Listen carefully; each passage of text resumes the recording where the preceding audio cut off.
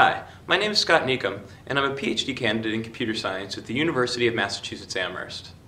This summer while at Willow Garage, I developed a system that allows users to program the robot by providing demonstrations of tasks. First, the user provides kinesthetic demonstrations of the table assembly task seen here. After eight such demonstrations are collected, they are combined, automatically segmented, and turned into a finite state representation of the task. However, during replay, various contingencies can be encountered. Here, the table leg is too far away for the robot to grasp it at the desired position.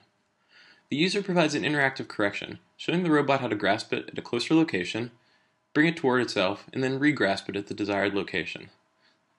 Here, the robot misses a grasp, and the user provides another interactive correction, showing it how to retry the grasp.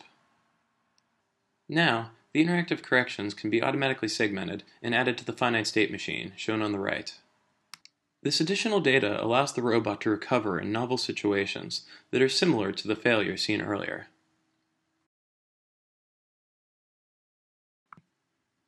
Here, we see another recovery behavior in which the robot recovers from a missed grasp, taking a different path than the finite state machine seen on the right.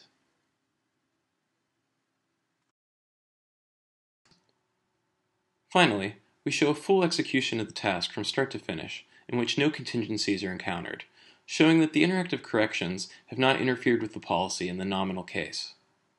It can be seen that the robot yet again takes a different path through the finite state machine, avoiding the recovery behaviors.